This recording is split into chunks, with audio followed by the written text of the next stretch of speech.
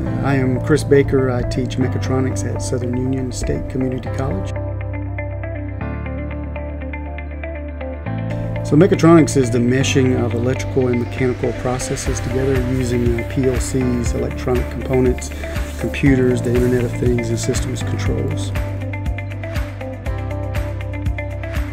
This area there's automotive, aerospace, medical, uh, defense, mostly uh, manufacturing, industrial manufacturing.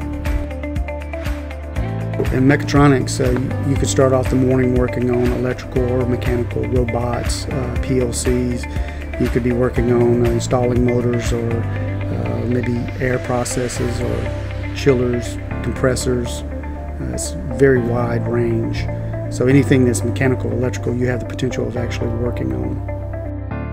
For this area, most students, once they graduate, could probably start out somewhere in the 20 to $30 range, depending on what industry they join.